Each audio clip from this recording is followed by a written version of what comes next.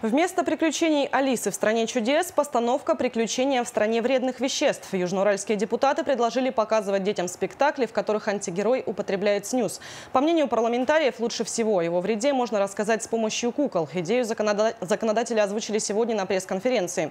Запрет на продажу снюза областные депутаты приняли перед новогодними праздниками. Теперь на прилавках магазинов он не должен храниться на видном месте.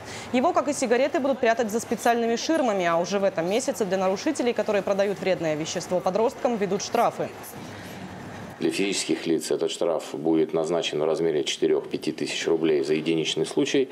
Для юридических лиц э, он будет назначен в размере от 50 тысяч рублей за единичный случай.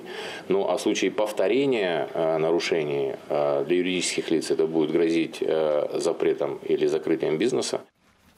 Также депутаты стали инициаторами рейдов. Пока проверяют, не хранится ли снюс на видном месте в магазинах. После будут проводить контрольные закупки с участием детей, родители которых согласятся на эксперимент. В планах также блокировать сайты, где продают снюс. В области появится горячая линия. По телефону можно будет рассказать о подозрительной веб-странице или месте, где вредные вещества продают детям.